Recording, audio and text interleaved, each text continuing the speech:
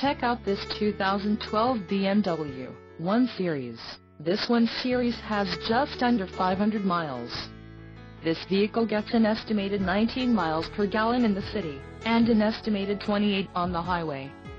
This 1 Series boasts a 3.0-liter engine, and has a 7-speed M DCT transmission. Additional options for this vehicle include the 7-speed double-clutch automatic transmission, black sapphire metallic, heated front seats, navigation system, black, Boston leather seat trim, M Sport package and the premium package. Call 855-875-6055 or email our friendly sales staff today to schedule a test drive.